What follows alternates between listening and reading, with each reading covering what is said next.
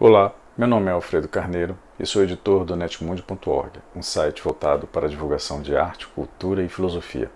Neste vídeo eu queria convidar você a conhecer as estampas japonesas. Você deve conhecer esta daqui, a Grande Onda de Kanagawa, do artista Katsushika Hokusai, feita em 1830. É considerada uma das imagens mais reproduzidas da história. As estampas japonesas são uma das principais identidades culturais do Japão para que você saiba mais sobre elas, preparamos um post com a história desta arte e centenas de imagens dos artistas mais conhecidos.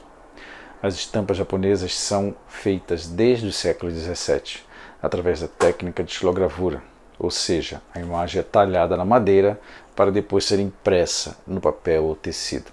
Se tornaram populares no Ocidente apenas no século XIX, influenciando artistas como Van Gogh e Monet. Saiba mais sobre esta arte fascinante. O post Estampas Japonesas 900 imagens para ver e baixar está nos destaques do site.